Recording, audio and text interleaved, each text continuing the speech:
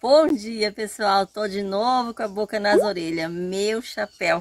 Que bênção, gente. Vocês não fazem ideia o presente que a gente está recebendo agora, nesses dias. O primeiro de muitos que virão.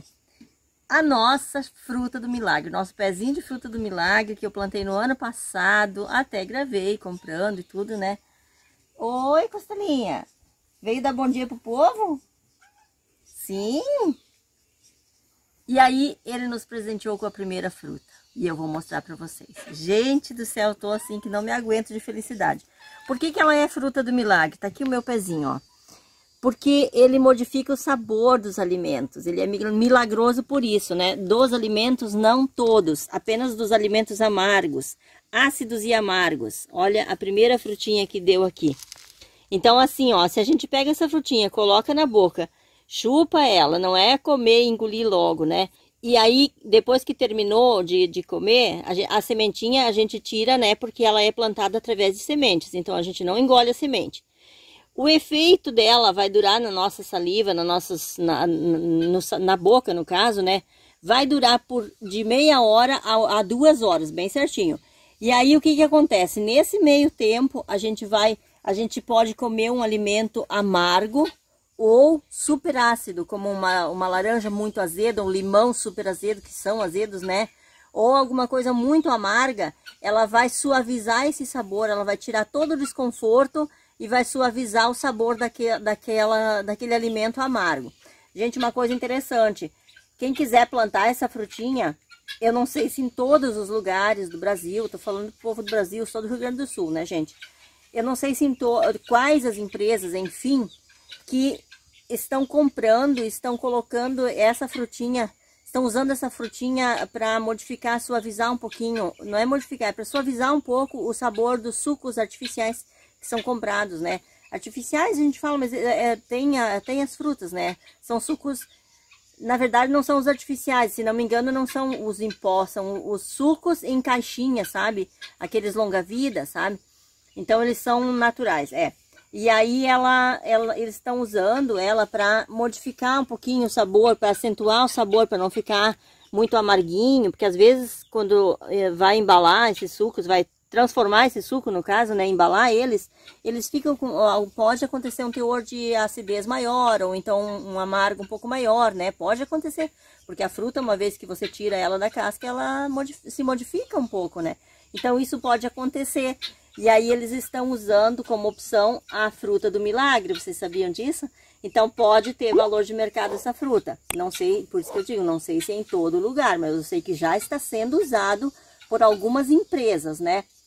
E assim, o pezinho, o meu deve estar assim com 50 centímetros de altura, mais ou menos.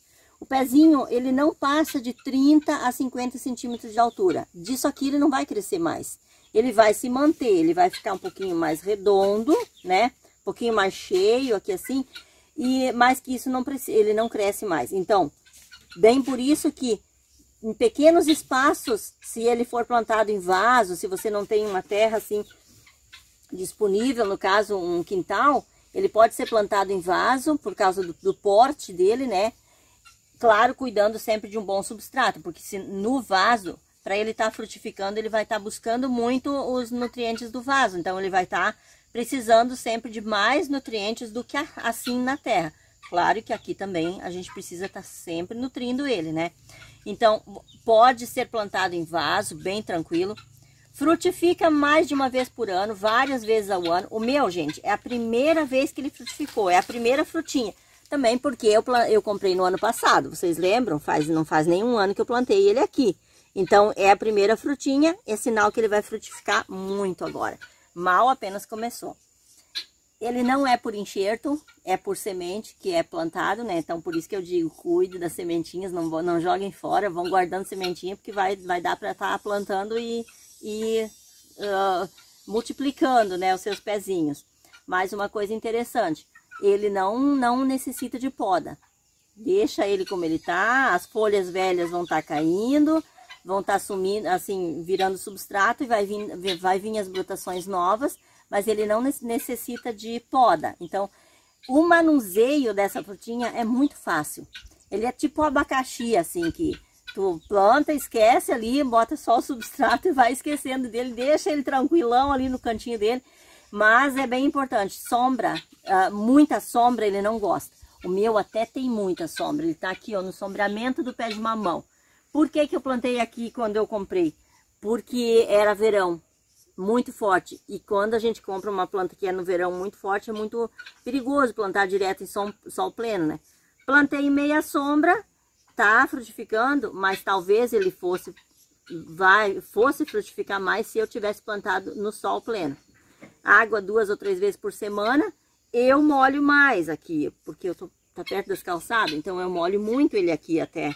Mas ele tá tá sobrevivendo bem, de boa, bem tranquilo, né? Ele tem benefícios para nossa saúde. Ele previne o envelhecimento, gente. Ele é rico em vitamina C, ele é anti-inflamatório, anticancerígeno. Então, assim, ó, não é apenas uma frutinha qualquer que chegou por aí. Ela tem os benefícios para nossa saúde também. E eu, assim, ó, eu penso assim que se a gente tem um pedaço de terra, a gente não precisa ficar atrelado apenas em algumas espécies específicas, sabe? A gente pode estar tá fazendo tentativas, como eu aqui, eu estou fazendo tentativas. Estou buscando várias espécies, estou plantando, e estou tendo êxito, porque primeiro eu corrigi a terra, primeiro eu, assim, ó, turbinei essa terra e continuo dele que turbinar essa, essa terra para mim conseguir ter a resposta, porque esse chão aqui era muito, muito, muito exaurido, muito gasto, sabe? Então, mesmo que eu, eu fiz essa correção de solo, turbinei com muito adubo, tudo orgânico, gente. Mesmo assim, plantei as minhas espécies. Ó, só aqui nesse cantinho eu tenho uma, duas, ó, uh, osmarim, sálvia, couve, estévia, açafrão, aqui é almeirão roxo ali, ó, sementando. Eu tenho mamãozinho ali, o mini subindo ali, e um pé de mamão. E ainda a fruta do milagre aqui, ó. Então, ao todo são Ai, meu Deus, oito. Oito espécies. Esse mamão eu vou tirar daqui. Esse mamão nasceu aqui, mas eu vou tirar. São oito espécies aqui, ó, num um metro e pouco quadrado. O que que acontece? Eu turbinei essa terra de adubo, sim, mas eu preciso continuar fazendo isso. Porque cada uma vai tirar um pouquinho de alimento da terra. O osmarim vai tirar o que ele precisa, a estévia vai tirar o que ela precisa para ficar linda e maravilhosa, o curry também, a fruta do milagre também, né? O mamão muito, né? Então, é, é assim que eu digo, sempre a gente precisa estar repondo, repondo, repondo adubação na terra. Nunca, quem tem um pedaço de terra nunca pode estacionar, pensar assim, ah, botei um monte de adubo e agora não preciso mais fazer mais nada. Hum, hum, gente, tem que continuar. Sempre, sempre, sempre precisa continuar.